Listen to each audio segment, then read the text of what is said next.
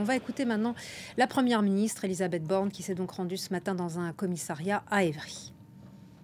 Nous examinons toutes les hypothèses avec une priorité, le retour de l'ordre républicain sur tout le territoire. Nos forces de l'ordre ont été très engagées avec des moyens supplémentaires qui ont été euh, mis en œuvre cette nuit. Nous allons examiner naturellement les moyens qui peuvent être euh, déployés pour euh, la nuit prochaine. Et puis, je, je le disais, on regarde également les hypothèses juridiques, le cadre d'intervention, et tout ça sera discuté autour du président de la République. Flore Simon, merci d'être avec nous. Cellule de crise, donc à 13h à l'Elysée. Toutes les hypothèses sont sur la table. À quoi peut-on, à quelle décision peut-on s'attendre? Ce qu'on voit déjà, c'est que le gouvernement est totalement mobilisé, que les agendas sont bouleversés, à commencer par euh, celui d'Emmanuel Macron, qui a donc quitté le sommet européen de Bruxelles, et Caroline de la Camaret vient de, nous l'expliquer. Le président de la République s'est dit prêt à adopter le service de maintien de l'ordre sans tabou. Donc l'objet de cette réunion euh, de crise interministérielle, on l'imagine bien, c'est comment s'organiser face à ces violences et ces éventuelles violences hein, dans les jours à venir. Est-ce que l'état d'urgence euh, sera décrété C'est ce que tend à dire entre les lignes l'exécutif. L'État, de toute façon, ne pourra pas mobiliser 40 euh, 000 forces de l'ordre hein, comme ils l'ont fait hier sur le long terme. Ça paraît vraiment beaucoup trop important, en tout cas sur, sur une période longue. Donc l'état d'urgence, sans doute, peut-être, va-t-il l'annoncer à la sortie de cette réunion interministérielle à 13h, après 13h.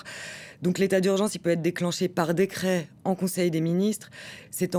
on, le, on, le, décrète en fait en cas de péril imminent et d'atteinte grave à l'ordre public. Il est effectif pour 12 jours, mais il peut être renouvelé par vote au Parlement. Il induit donc l'interdiction de manifester ou de se rassembler sur la voie publique et permet aussi des réquisitions de biens ou de personnes. Toute la question, c'est peut-on faire respecter euh, ce maintien de l'ordre? A-t-on les moyens suffisants? On le voit, hein, la, colère et la, situation est extrêmement tendue. Donc ça, ce sera la question d'après. Si, encore une fois, si euh, le gouvernement décide d'instaurer euh, cet état d'urgence. Et le gouvernement actuellement, il est soumis à une double épreuve mettre un terme aux violences répétées de certains policiers et assurer le maintien de l'ordre. Comment peut-il tenir les deux bouts? Le gouvernement est en effet sur une ligne de crête.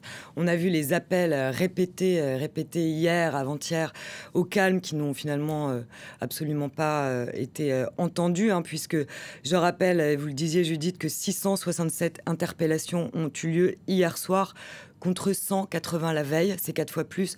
Ce qu'on voit aussi, c'est que ces violences se propagent aux villes moyennes, ce qui est, ça prouve quand même que, du coup le, tout le pays hein, s'embrase en quelque sorte. La colère ne retombe pas. Alors l'exécutif, après la compassion, euh, fait euh, maintenant place à, plus de fermeté. Euh, hier, un camion blindé de la BRI a été, envoyé à Nanterre. On verra bien sûr ce qui sort de cette réunion interministérielle après 13 heures. Et puis, et puis voilà, a priori, l'état d'urgence, en tout cas, l'exécutif est sous pression de cet état d'urgence. Et en même temps, ça c'est pour la droite et l'extrême droite, qu'il demande expressément depuis plusieurs, depuis, depuis deux jours, et puis la gauche qui lui demande une réponse politique. Donc c'est vrai que l'exécutif est un peu écartelé entre ces deux, euh, ces deux euh, demandes euh, et de la droite et de la gauche. Qui n'ont pas les mêmes priorités. Merci beaucoup Flore Simon pour mm. votre analyse. Merci à vous.